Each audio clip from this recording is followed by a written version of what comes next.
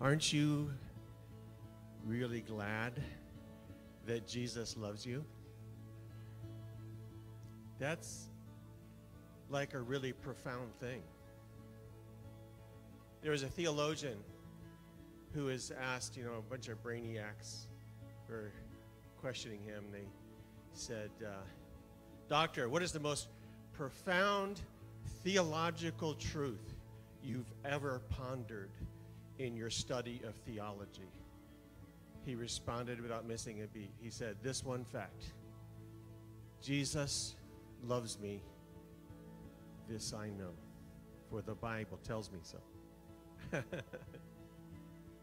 God loves you. He's crackers about you. He likes you. That's why he offered his son Jesus for you. Don't you love springtime? Check out these flowers. Aren't they beautiful? I love these flowers. And I love springtime. You know, I have a friend in Portland who uh, sent me a bunch of pictures about, you know, he and his wife went on a walk and looked at all the flowers. Of course, they have a longer growing season. They're cheaters. They have a longer growing season than we do, so their flowers are all up and beautiful and stuff, and ours are coming. But I love flowers. I especially love roses. I'm kind of a rose guy. Um, but you know what I found about roses? They have thorns. They have thorns. And you start working with roses, and inevitably, you will discover the thorns. Um, and when I get to heaven, I'm going to ask God, why the thorns? Could you explain that to me? I love the flowers. the, the, the, leaves are okay too, but why the thorns? Um, you know, Jesus prayed a couple of times, um, Your will be done on earth as it is in heaven. He prayed that, and when he taught us to pray, he said, Pray like this uh, Our Father in heaven, hallowed be your name. Your kingdom come, your will be done as it is uh, on earth as it is in heaven. And he prayed almost that same prayer when he was in the Garden of Gethsemane and he knew the cross was ahead of him. And he prayed, Father, if it's possible, let this cup pass from me. He knew what was coming, he knew exactly what was coming. So he prayed, Father, if it's possible, let this cup pass from me. Nevertheless, not my will, but your will be done. You see, when sometimes when we when we when we find hardship in our lives, when difficult things come into our lives, we start feeling like, oh wow, God doesn't love me. God has forgotten me. God has allowed too much pain in my life. Too many difficulties. Maybe He doesn't love me. Why are there so many thorns in my life? We've got thorns in our life. Um, we've got a son who's going through a divorce, another one who's questioning his walk with God seriously. We've got a child, a grandchild with cerebral palsy. But you know, God has helped us not to ask why, but to simply say, Father, we know you can heal, we know you can change hearts. The heart of the king is like channels of water in the hand of God. He turns it wherever he wants. Nonetheless, we thank you for the thorns in our life. Because those thorns have driven us to prayer. They have made us come to God and say, God, we have no one but you. We, have, we depend on you. We trust in you. We trust in you because these things we can't fix, we can't change. We pray for change, but it comes when God wants it to.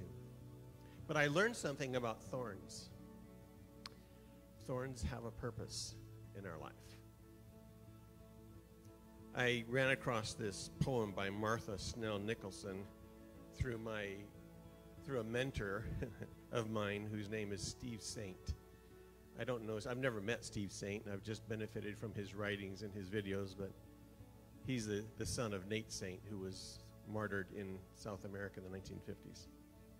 But Martha Snell Nicholson uh, uh, writes this poem that Steve Saint uh, pointed to my attention.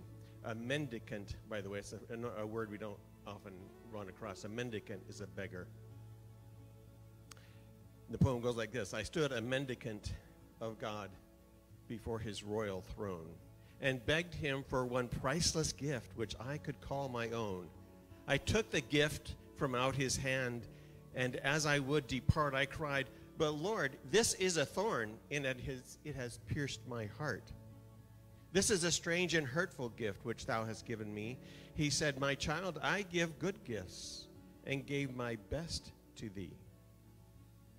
I took it home, and though at first the cruel thorn hurt sore, as long years passed, I learned at last to love it more and more. I learned he never gives a thorn without this added grace. He takes the thorn to pin aside the veil which hides his face. Got any thorns? Are you whining about it? Are you complaining about it? Or are you simply allowing God, through the thorns, to pin aside the veil that we might behold his face? Jesus, thanks so much for loving us. Father, thank you for sending Jesus. Thank you for the thorns in our lives, which pin aside the veil that hides your face. Help us to continue to lean hard into you, trust you, whatever may befall us. God is good. Jesus loves us. This we know. Amen.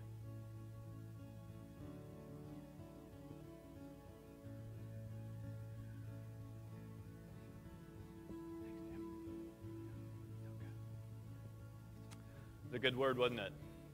Appreciate your heart, your wisdom, Jim. He is one of the shepherds among us. So thank you for that.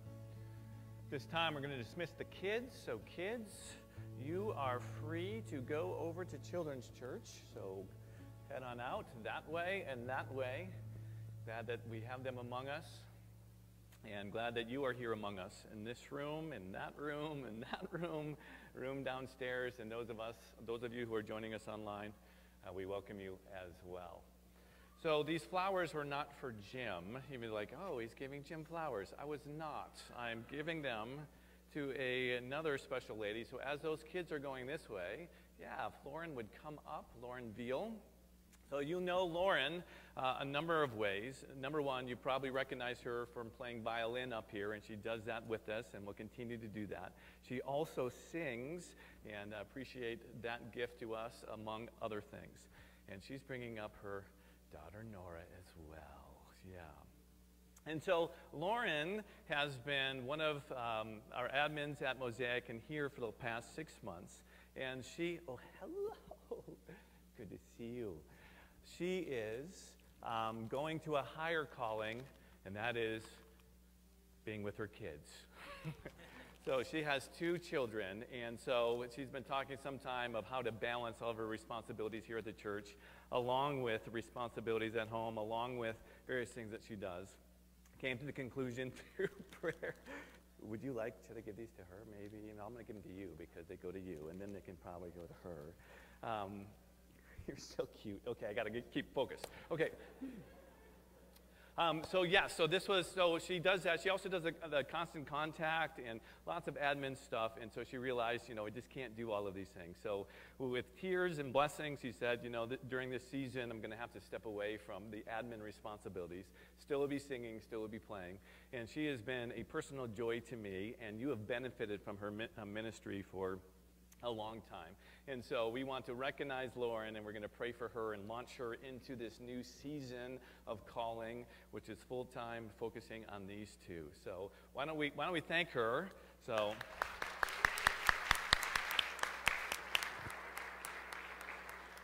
And then I'm going to pray for her. Okay, God, thank you so much for this gift to us. God, thank you for your grace in Lauren, who has said yes to you. Uh, she said yes to your calling in this place. Hello, sweetheart. And thank you for her children and her husband, God, that you have graced her with. Lord, we ask as she launches into this new um, adventure, this new season of her life, God, that she'll feel your peace, she'll feel your grace, she'll feel your love, God, she'll feel your favor. Lord, so we commission her into this next phase. We thank you for her love for you, her love for all of us. Pray that you bless her in every way. In Jesus' name, amen. Amen. Yeah, thank you. All right, bless you. All right. Thank you so much, Lauren. Well, today is our official, all eyes are going to be there, so I'll just stop. I get it. Yeah, cannot compete with that.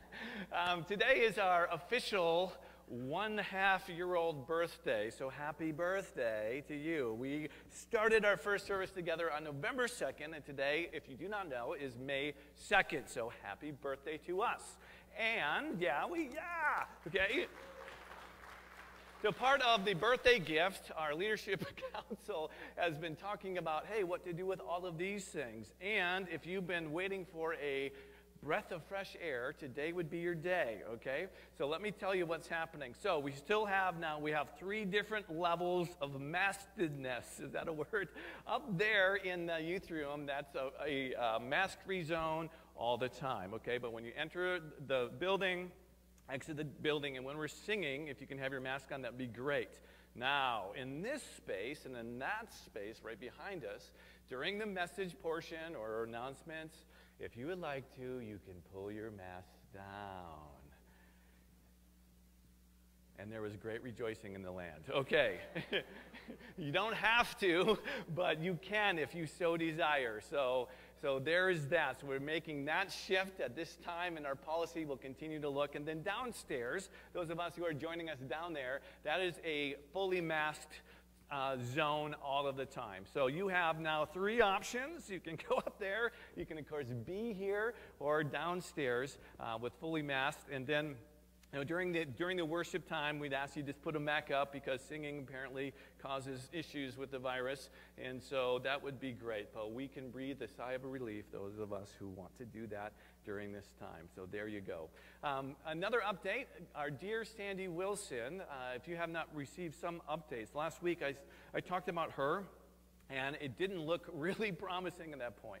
And through prayer and wonderful um, physicians, uh, really something miraculous has happened this week. So they elected to do a surgery, which they thought they would not. They had to go into um, the brain area to relieve some pressure.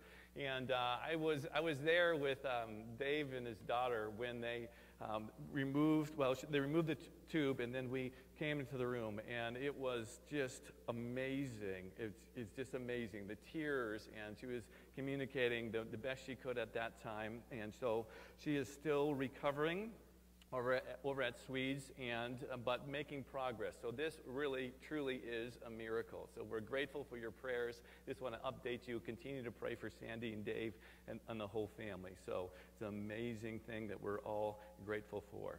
Okay, that's it for all of those things. If you do have a Bible, go ahead and open it up. We're going again to Second Thessalonians. We're looking at the last section. So today is uh, the last installment of our series that we've entitled Faith in Uncertain Times. And so, through this series, if you've been here with us, we've followed Paul through the Holy Spirit as he is instructing that church and also instructing this church. And they were going through some uncertainties, they were going through difficulties, and they were a new church plant.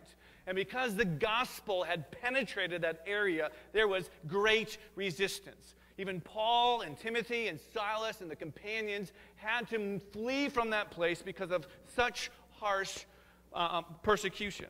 And so Paul wrote back a couple times. Therefore, we have First Thessalonians, we have Second Thessalonians, and his main concern is focused on two areas. He was concerned about their love for one another. And so he wanted to know are they growing in love for one another, in love for the community? And second, about their faith, if it would grow deep and be established in difficult and uncertain times. And he was reassured by Timothy, who was there and came back with a report, and also some other reports that they received that they were indeed growing and the gospel was taking root in a new region. And we are to rejoice when the gospel goes to a new re- region. And he says, I rejoice and I thank God for you. And though he continued to instruct these believers, and we saw about prayer and saying, pray that the gospel runs rapidly. Remember that from last week? Pray that the word of God is honored. Pray that the message and the messengers are delivered from evil men. And we learn that we are to pray indeed, and we are to continue to engage ourselves with the gospel regardless of our circumstances. In our lives, we indeed also live in times that are uncertain. We don't even know necessarily what will happen to the rest of this day or tomorrow or this summer or into this next fall. We don't know. We know some things, but often things are up in the air. So the question is, what should we focus on? And the Apostle Paul, through the Holy Spirit, says, continue to grow in love, continue to grow deeper in faith, and continue to engage yourself in doing good. And so Paul this morning reminds us of those things, but now focuses in on people in that congregation who were idle and disruptive, and encouraging them to continue in their work so, the title of today's message is Work Matters, and work indeed matters. So, we're going to go through these last words from the Apostle Paul to us, to that church, as we focus in on what he would have to say to us about how we work, how we live, how we exhibit our faith in times that are uncertain. Okay, so that's where we're going. Excuse me, wow, that was weird. That's where we're going. And by the way, there are notes in the back, so if you're here, and often I go through lots of stuff, if you want to have these notes, they're in the back. They're also online for those of you who are online. So here is the first big point. This is the instruction keep away strong words from those who will not work and will not listen. So Paul is laying it on here, okay? And we, in turn, need to listen as well, okay? So this is what he says, starting with verse 6 of chapter 3 of Second Thessalonians. In the name of the Lord Jesus Christ, we command you, brothers and sisters, to keep away from every believer who is idle and disruptive and does not live according to the teaching you received from us. So, this issue of people in that congregation, even in their context, and in often in so many contexts, is that people were being idle. They're being irresponsible. And because of this, they were being disruptive. And it was an ongoing issue with that church. Now, if you remember in 1 Thessalonians near the end, okay, this is 1 Thessalonians 5:14, Paul tells them, he says, warn those who are idle and disruptive. Now, you see in this letter that Paul again dresses this the church about a group of individuals who are persisting to be irresponsible, to be busybodies. We're going to see this by not um, engaging with their calling. And so Paul was aware of it. He addressed it and hey, warn those people who are doing that. And now in this letter, they must have persisted in this behavior because he's addressing it again. And so he ratchets, ratcheted up their response, right? So he says, hey, keep away from every believer. And you may be wondering, wow, Paul, that's pretty uh, hard, right? Why are you doing that? That does not seem very loving. Because if he was saying that he was primarily concerned about the depth of their faith and the, the length of their love, why would he tell them to disconnect with some people? Because it doesn't seem very loving. Well, the truth is that um, instruction, and it's so strong, he says, I command you. Okay? The truth is that is loving. It is loving to the person or the people who are be- exhibiting this behavior, and it's loving to the greater congregation. Okay? Now, if you're doing something wrong and someone loves you, they love you enough to warn you about something, aren't you grateful for that? Okay? If I was going in a way, living my faith in a way that did not represent Christ well, Okay? Those who love me have a responsibility to say, hey, Dave, I love you. I appreciate this, this, and this about you, but right here, that wasn't so good. And so, in instructing one another to live in a way that is accordance to Scripture, okay?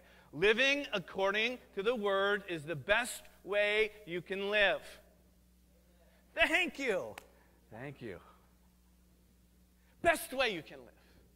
And so these people are to be warned. And they're primarily to be warned about an exhibiting of a behavior that was not in line with the word. And notice that he said that they do not listen to the word. So the root problem wasn't an irresponsible, being irresponsible towards their obligations and their work. That was a result of the real issue. The real issue was that they were not submitting themselves to the Word of God. They knew that we are to continue to do good work. They knew that they were continue to grow in love. They knew that they were to use their gifts for the servants of the body. They knew these things because they were written to them in Paul's letters to them. Paul was with them and taught them. So they knew what to do. So this wasn't a matter of ignorance.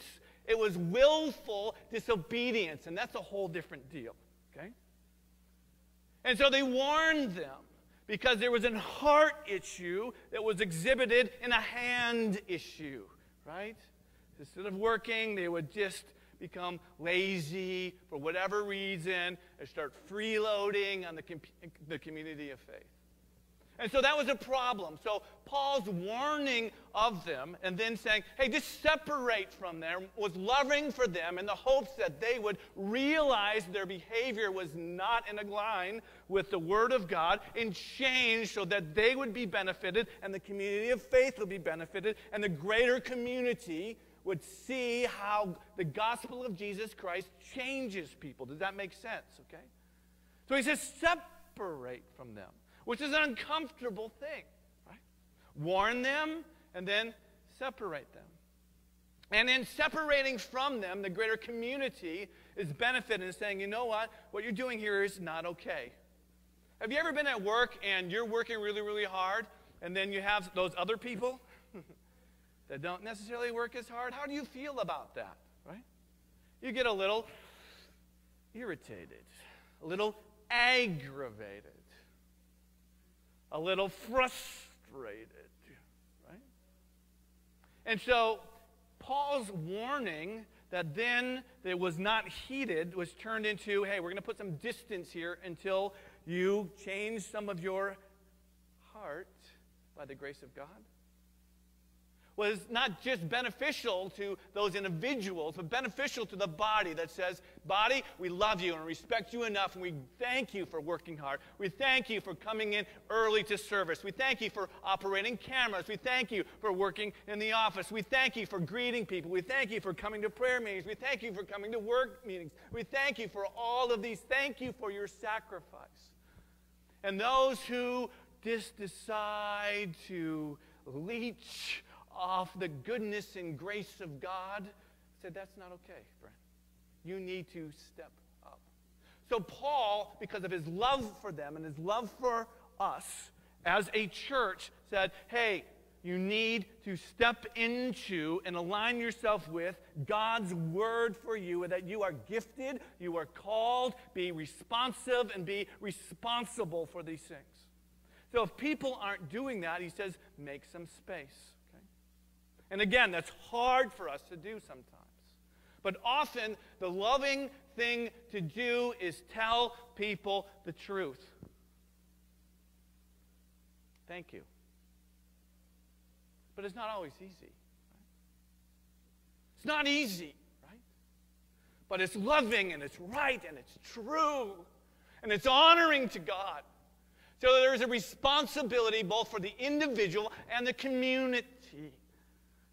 It's spurring one another on towards love and good deeds. It is paying attention to God's grace among us and responding to Him because we are under His authority and we honor the Word. So, this is what Paul is addressing in this newfound church, and he's doing it strongly because of the authority and the anointing and the love that he had for that congregation and the love that God has for this congregation.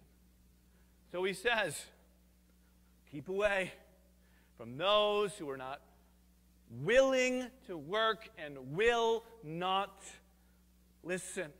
Do not live according to the teaching you received from us. Now, Paul then goes on and talks about hey, we were examples among you. He says, follow us, look to us, and do what we did. So he's not just telling them to do something, but he does it himself, which brings greater authority to what he's saying. This is the next point follow the example of the apostles. Okay, so he continues on with this theme of warning these people who are being irresponsible, and because of their irresponsibility, disru- disrupts what the church is doing. This is in verse 7. He continues For you yourselves know how you ought to follow our example. We were not idle when we were with you nor do we eat anyone's food without paying for it. On the contrary, we worked night and day, laboring and toiling, so that we would not be a burden to any of you. We did this not because we do not have the right to such help, but in order to offer ourselves as a model for you to imitate. For even when we were with you, we gave you this rule The one who is unwilling to work shall not eat. Okay. So let's talk about this. Okay? Now, the Gospels and the writers of Scripture, empowered by the Holy Spirit, lived as examples. Most of the time, they were positive examples, and sometimes we can learn from people not submitting themselves to God's Word. And these apostles, in their integrity, went to places to bring the gospel there as missionaries for the first time.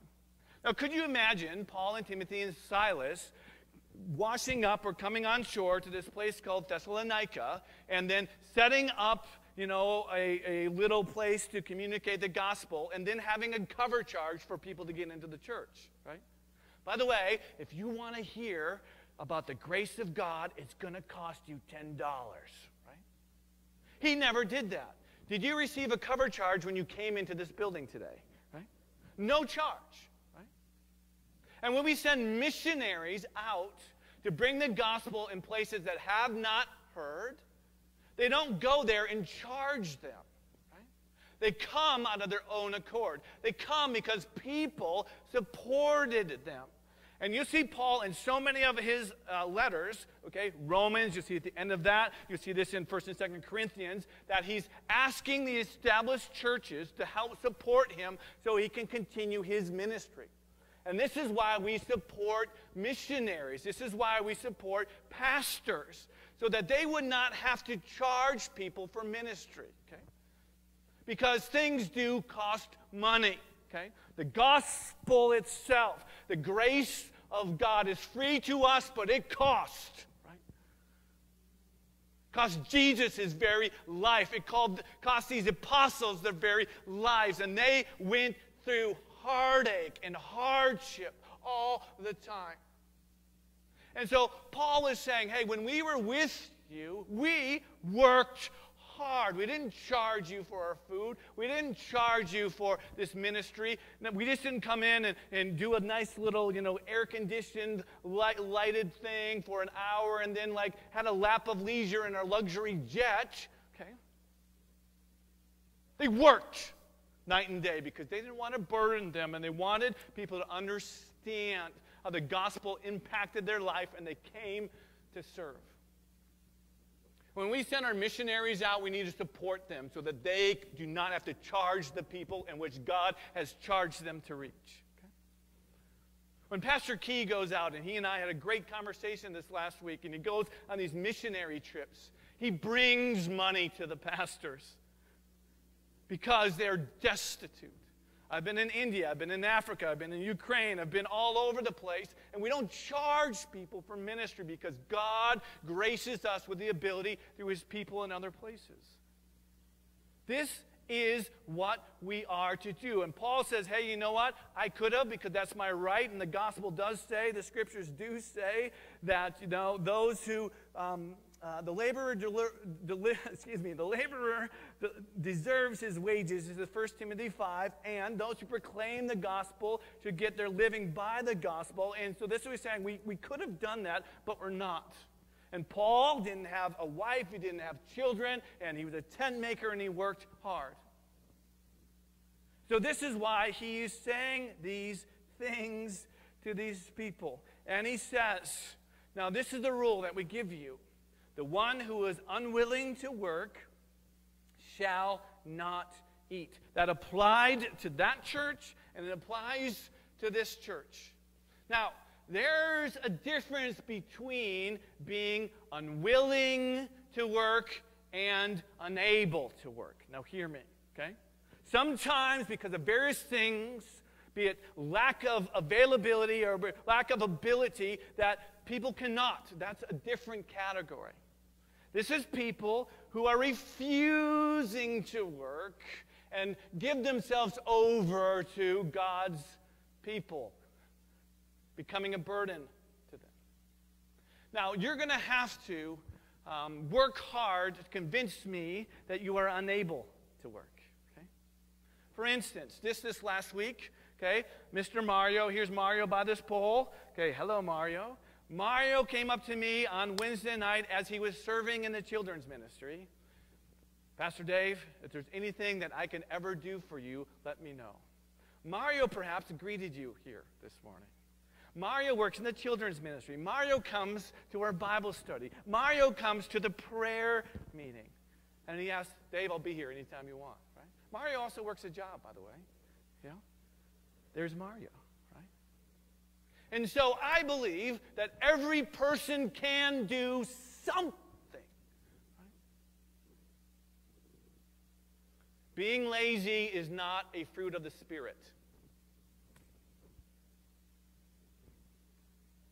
We are to engage because we are responding to God's grace. We live that grace by loving and working and providing and encouraging and expanding God's ministry among us. Right? Ministry requires work. Your family likes to eat, okay? Then work. Right?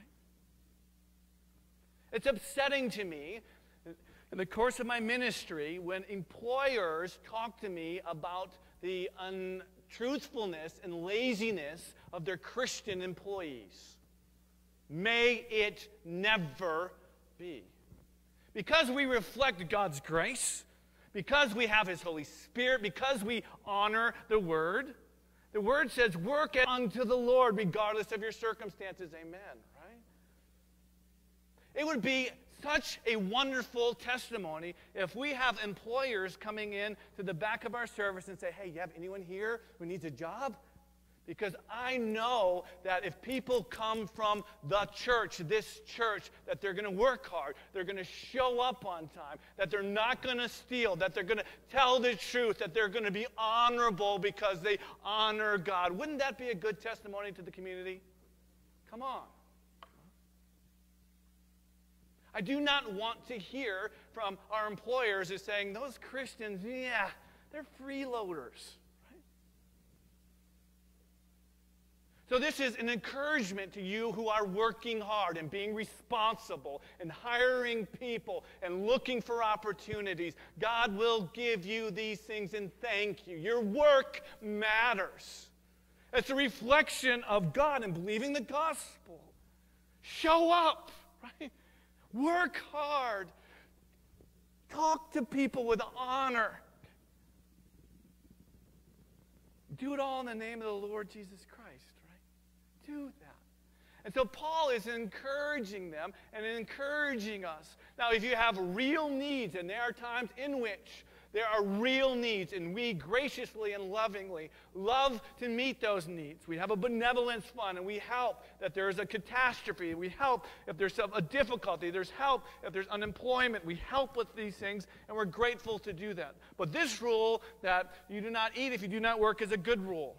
I've not always done that rule. I've done it poorly. Back in the day, back in the Mosaic days, we had an event called the garage sale giveaway, right?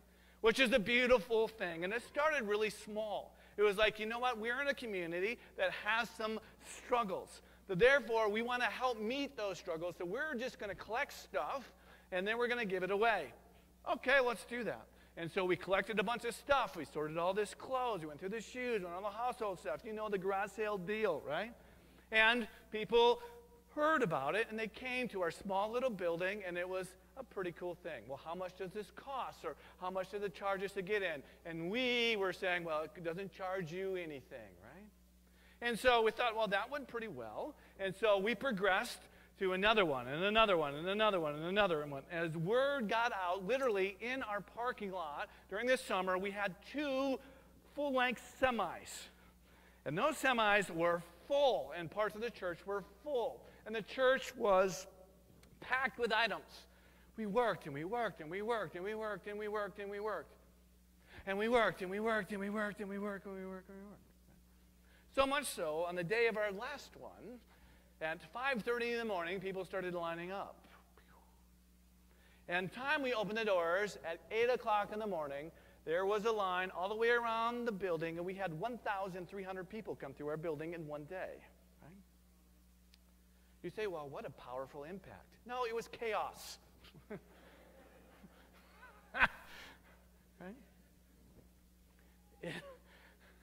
Okay. Right? Now, some people are really grateful. Other people, why, why are you taking that from me? We had fights in our parking lot. We had people stealing stuff from outside and then selling it down the road. We were hoping to raise the level of Christianity and compassion. We want to continue to do this. But then we started to read some books and saying, what are we doing here? We do these events, we hardly pray for anybody, and everybody comes, we get mobbed, and we're left with a mess, and it doesn't go well. And we read a book which I recommend to you, and is in your notes if you're interested in these type of things. It's called When Helping hurts. How to alleviate poverty without hurting the poor and yourself. Okay? I recommend this book to you. I wish I would have read it 25 years ago. And in it, we recognize that people need to have a buy in to things. And it's okay to charge in the sense of making people responsible. Number one, it gives them dig- dignity. Number two, it makes them understand that, hey, this isn't just free. We're not doing all the work, you get all the benefit. There's a partnership here. And we switched our tactics. And so we had a hope closet in which we met with people individually and we talked with them and we prayed for them. We didn't just address the current felt need, but the underlying need of what was going on. And so this changed our mindset, and it changed even our benevolence policy in recognizing there's people who come through that need immediate assistance, okay? But there's a greater responsibility for people who ask church for assistance. I want to let you know churches are soft targets because we're typically nice people, right? People know that, and that's okay. Right? But there's a difference between helping people with real needs and then enabling people to be users of God's grace in a negative way. Are you hearing me? Okay. And this is what he's addressing. Okay? So he's saying, hey, if you can work, work. Don't be irresponsible. Don't be disruptive from God's working. represent him well. And God, ask him for the grace. God, help me to get up tomorrow. Get three alarm clocks. Work hard. You're doing it because you're honoring God. Your work matters. And then a warning to those who think that they see the church as easy targets and they prey upon it. It's not beneficial to the church, nor is it beneficial to that person. So we work with them, but put some responsibility to them to say, how can you be involved in what's taking place? Does that make sense? Okay? So Paul is instructing them and instructing us in this way, giving us this rule, saying, look at ourselves. We work hard, rightly so. We do not need any more self serving gospel communicators. Dave, you're meddling. Yes, I am. Okay? Guys who cannot fly the friendly skies unless they have their own private jet. It's ridiculous. Guys who go to other countries selling prosperity in the name of God, taking the money from these people who are destitute and going back home in their private jet eating caviar. Not okay. Paul is addressing this, saying, We didn't charge you anything. We didn't take anything from you. We came here to communicate the gospel of Jesus Christ. Follow the examples of the apostles. And some of you are doing this well. Most of you are doing this well. Let us step up our game by the grace of God. Now, Paul continues as he's instructing this church out of love. And he gives them and us these three things to focus on. He says, settle down, earn your living, and continue to do good. Settle down, earn your living, continue to do good. Let's read what he has to say, starting with verse 11. We hear that some among you, here it is again, are idle, lazy, irresponsible, and you cause disruption. They're not busy, they are busy bodies. Such people we command, okay, this is strong, and urge in the Lord Jesus Christ. Settle down. Earn the food you eat. And as for you, brothers and sisters, never tire in doing good. There's a difference between being busy in production versus a being a busybody and lack of production. It's like a car that moves, okay, there's motion going forward, versus a car who's stuck in the snow. A lot of movement, but very little motion. Okay? And there are people that become busybodies. That means they're involved in everyone else's business, right? You know people like that. And if you don't know people like that, it might be you. Okay.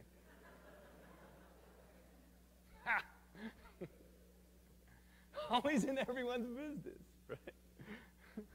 Always online, doing everything with everybody all the time. Alarmists, right? Always up in arm about this thing and about that thing and about this thing and about this and you hear this and this and this and this. That's not helpful. A lot of energy, a lot of effort, very little forward progress, like spinning your tires and going nowhere. Well, I'm busy. No, you're a busy body. Settle down. That's a word for some of you today. Settle down. It's okay. We're going to make it. Chill out. Instead of putting all your efforts in that direction, do something productive. Right?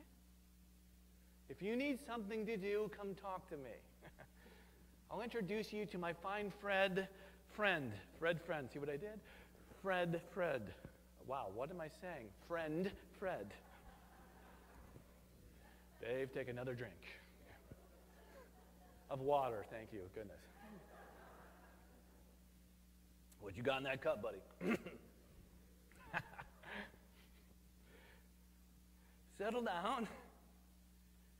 Earn the food you eat. Okay? And there have been times that we launched um, Mosaic. I don't know how we're going to pay the bills. But I trusted God. God, will you provide me? Here's the word employment.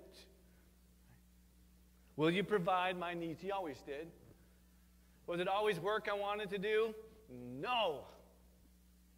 Was I grateful for it? Yes, I was. Work, Dave. I worked. I work, and I continue to work. So if you're in that place, God, help me to earn these things.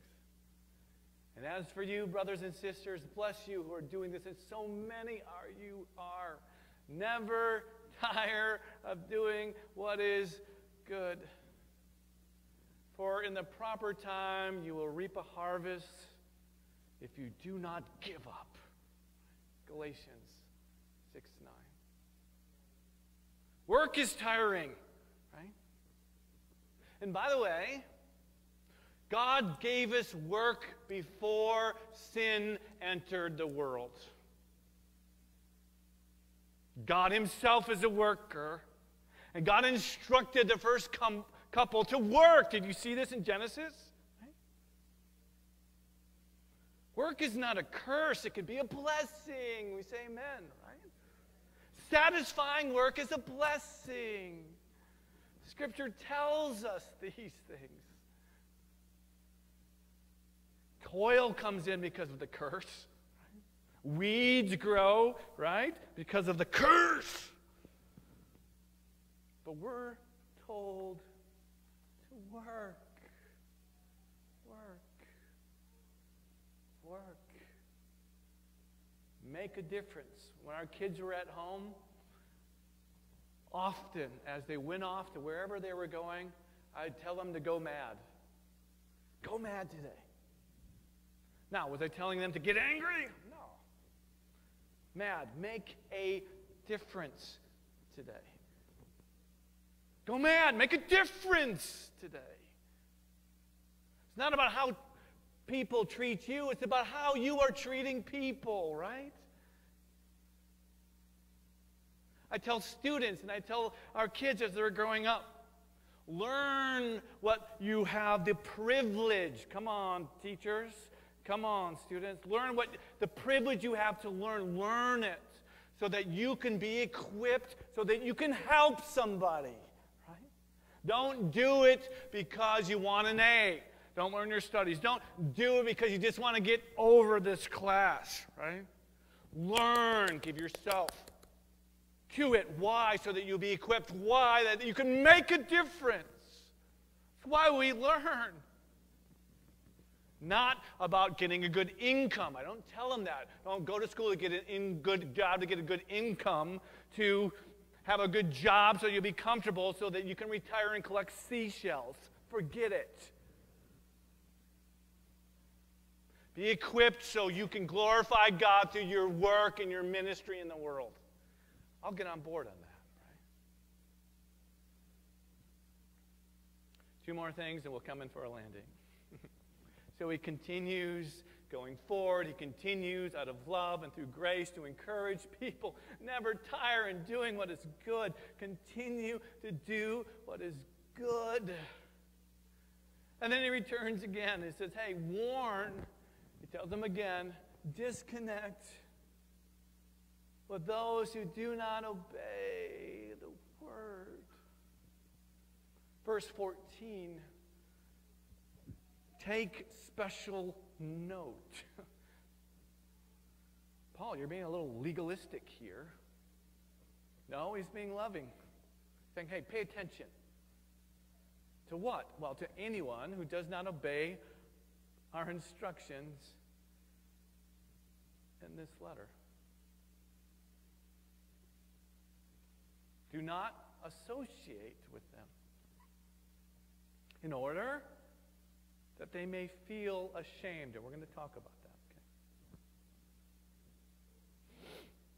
Yet do not regard them as an enemy, but warn them as you would a fellow believer.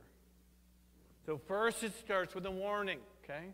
And notice the warning is about people who do not obey the word.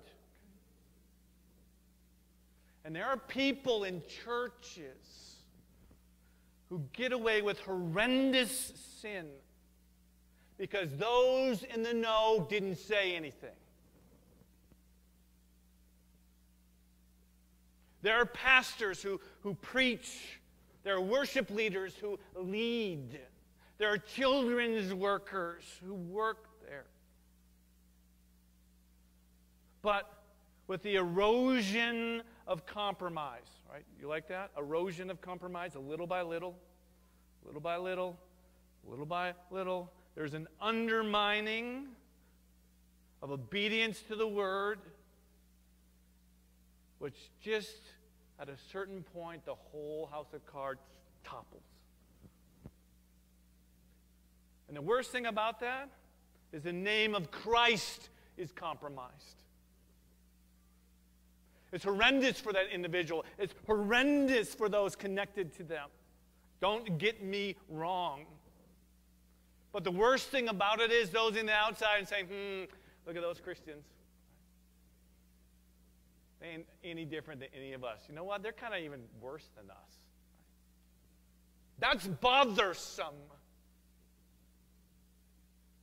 And so he says, hey, pay attention.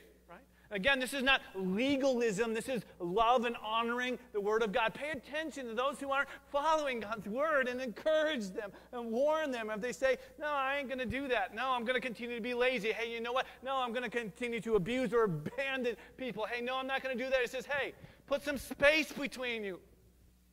Why? So that they'll feel ashamed. What does that mean? It's not being shamed, and that's different. Not shame on you. It's creating space because you love them and it hurts you. In order that they would recognize that what they're doing is not okay, not accepted, so that they would turn from their behavior. That's what the Greek word means. I've had to done, do this with people. I don't do this because I like it.